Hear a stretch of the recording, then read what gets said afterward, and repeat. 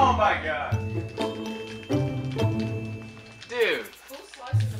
So every single night, all of us like to get together and, you know, we're all video gamers, so we like to game.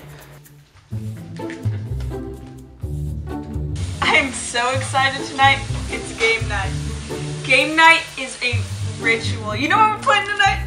Deal or no deal. It feels like there's like nothing that can f this night up. What's up? Who's ready? Game.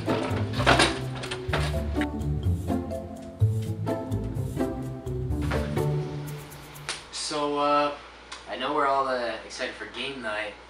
Hate to be the bearer of bad news, but um, I think you guys are gonna like this a lot better. I actually have a new roommate coming over. I'd like to introduce you guys to.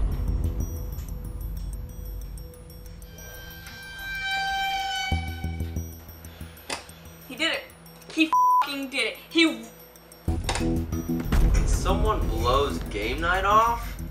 It's pretty fed up, and it really got under my damn skin. Alright, look, before you guys get angry, I. Dude, shut the f up!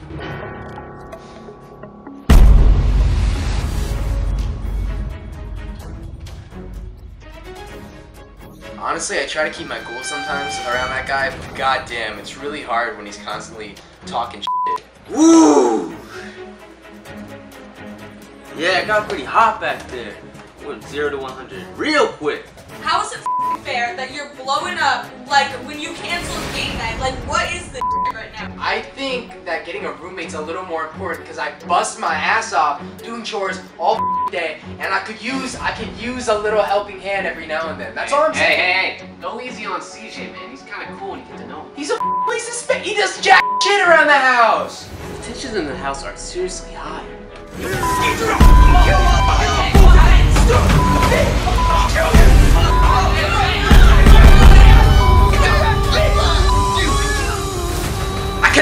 Could have handled this myself without you guys.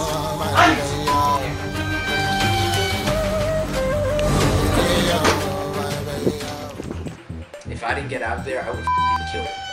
Actually. I know CJ can handle himself, but that actually got me really scared. Brock? That dude really fing scares me.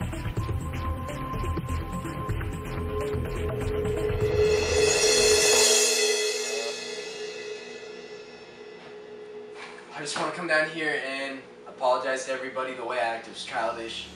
I'm calmed down now. Just get back to game night.